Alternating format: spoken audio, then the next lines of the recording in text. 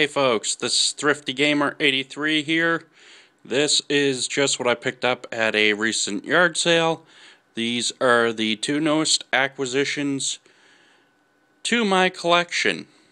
As well, I will be heading out this weekend to Dickering Days. Really looking forward to it. It's been a blast doing the web show. Thanks for all the support, guys. Rant rave, love, hate.